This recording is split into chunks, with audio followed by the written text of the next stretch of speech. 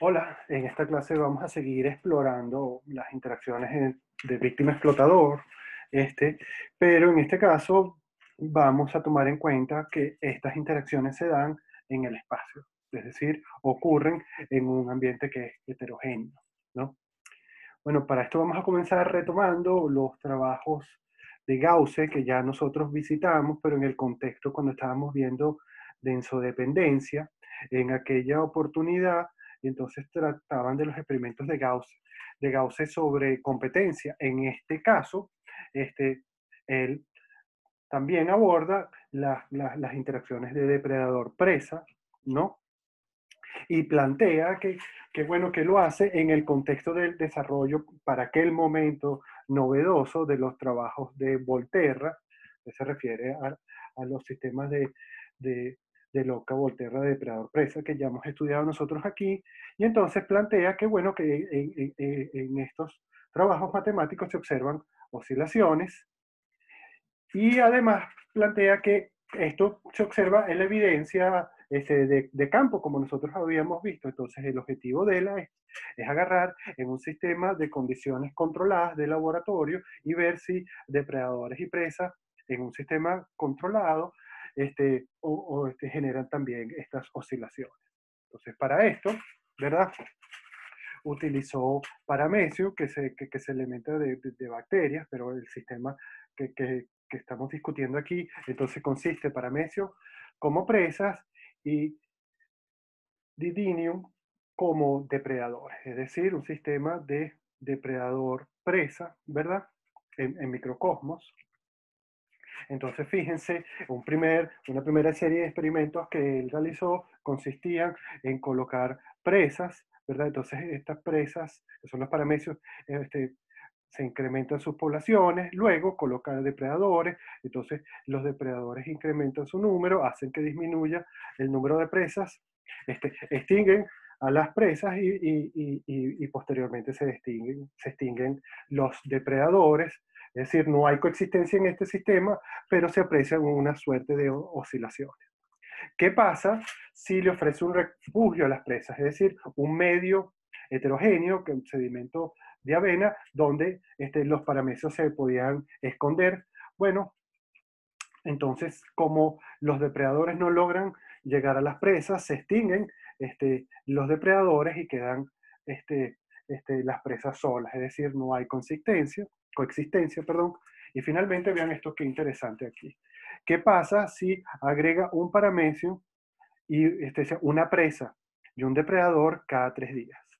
Y vean ustedes lo que se observa. Se observa coexistencia y oscilación.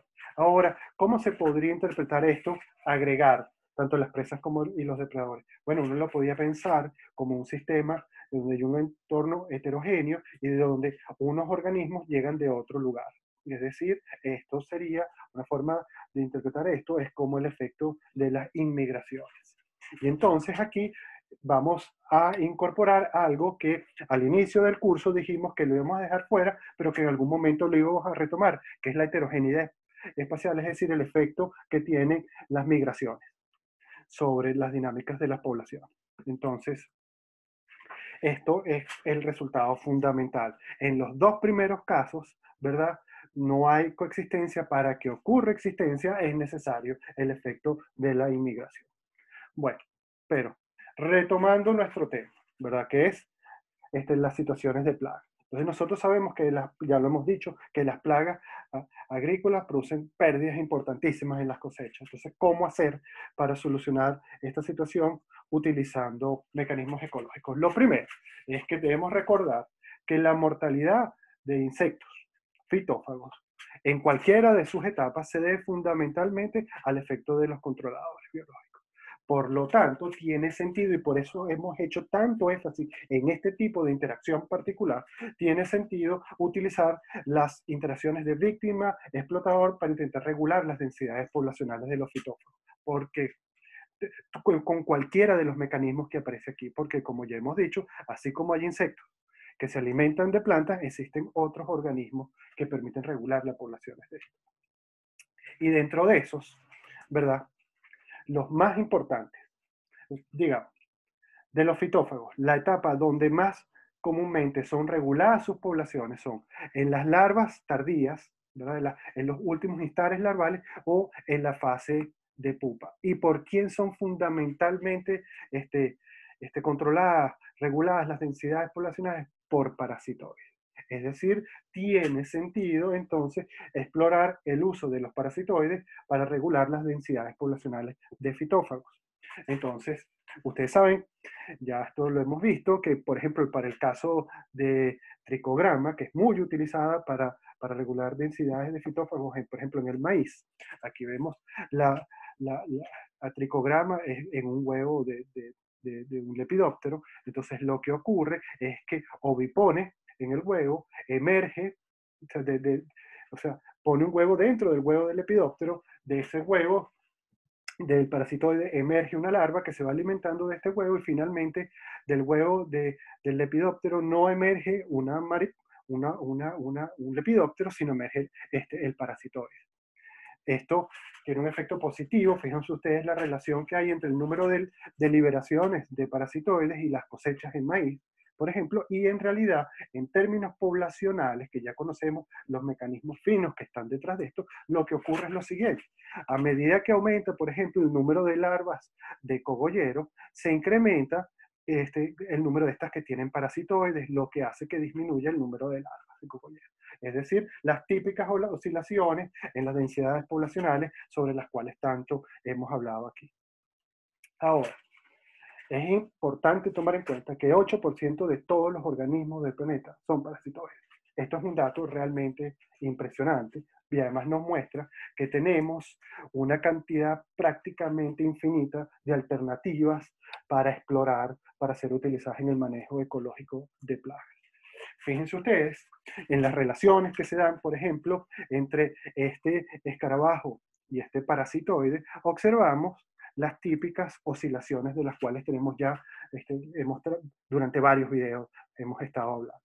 Entonces, lo interesante sería construir un modelo matemático explícito para esta situación de parasitoide y hospedador. Entonces, fíjense, en este caso, ¿verdad? Esta ecuación nos dice cuántos hospedadores vamos a tener en el siguiente tiempo y eso de qué va a depender. Va a depender de la probabilidad de que no esté, que no tenga parasitoides, ¿verdad? Y todo esto, y esto que está aquí es cómo crece la población de estos escarabajos en ausencia de parasitoides, que como ustedes ven aquí, en este caso, lo que significa es que crece geométricamente. Ahora, la población de parasitoides, ¿de qué depende? Bueno, de la probabilidad de que uno de estos escarabajos estén parasitados, porque surgen a partir de ellos por el ciclo de vida particular de los parasitoides. Y todo esto que me da, bueno, me da la, de un escarabajo parasitado con parasitoides, cuántos parasitoides salen a partir de ahí. Entonces, aquí lo que nos falta es conseguir esta función específica, una estructura explícita, que es una función que depende de la densidad de los hospedadores, pero también de la densidad de los parasitoides. Entonces, fíjense, si suponemos que un parasitoide, por ejemplo, una avispa, busca en un agroecosistema orugas donde depositar sus huevos, ¿Cómo nosotros podemos simular este proceso? Por ejemplo, si suponemos que la probabilidad de encontrar oruga es baja, es un evento raro, y que la avispa las busca de manera aleatoria, es decir, que los encuentros entre las orugas y las avispas ocurren al azar, podemos utilizar la distribución de, de Poisson. La distribución de Poisson es una distribución, por ejemplo, que se utiliza para estimar la probabilidad de un sistema de producción en serie de conseguir este, este, lo que se está produciendo con, con, con, con alguna falla. También se utiliza en biología para estimar la probabilidad de que una secuencia de ADN ocurra este, alguna mutación. En hecho, eh, este, los parámetros que tiene, representa, esta acá representa el número de eventos, por ejemplo, el, número de mutaciones, esta, esta beta es un parámetro que representa el número de veces que se espera que ocurra el evento en un tiempo dado, y esta P es la probabilidad de observar un número De estos eventos. Ahora, y aquí este modelo lo, se lo debemos a Nicholson y a Bailey, y entonces ellos representaron esto de una manera tal que simplifica mucho. ¿Qué tal si representamos la situación en la cual nos interesa la probabilidad de encontrar orugas sin parasitoides? Es decir, donde cabale cero. Entonces, esta expresión se transforma en esta, que es una expresión mucho más simple, ¿verdad?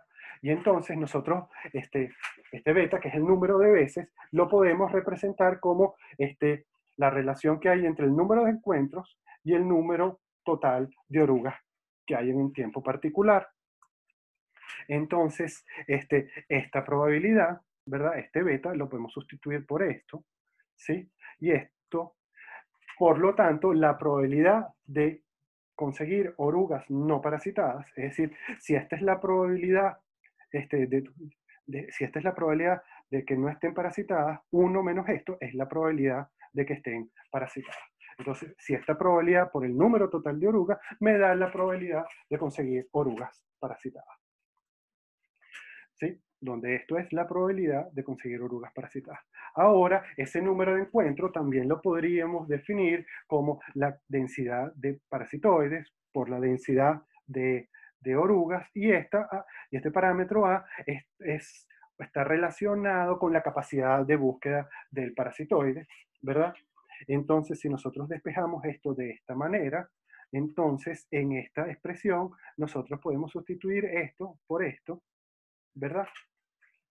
Y entonces obtenemos esta expresión que está aquí, ¿verdad? Para la cantidad de orugas parasitadas. Finalmente podemos representar el sistema de esta manera, donde esto que está aquí es la cantidad de orugas no parasitadas, esta es, la, esta es la cantidad de orugas parasitadas, entonces la cantidad de orugas no parasitadas, por esto que es su tasa de crecimiento, nos da cómo crece, eh, que, que, es un crecimiento eh, geométrico, cómo crece la población de, orugas, y esto es cómo crece la población de, de, parasitoides, donde esta C lo que nos da es la tasa de conversión, es decir, de una oruga parasitada, cuántos parasitoides surgen.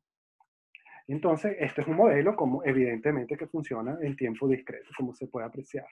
Es decir, la cantidad de orugas que hay en el tiempo t determina la cantidad de orugas que hay en el tiempo t más 1. Bueno, los resultados de este modelo son básicamente los siguientes, o sea, puede ocurrir que se extinga después de unas oscilaciones tanto la población del hospedador y por lo tanto se extingue la población del parasitoide o que se extinga solamente la población del parasitoide. Ustedes podrían decir, bueno, pero este modelo no, es, no persiste en el tiempo y que tal vez podrían pensar en descartarlo.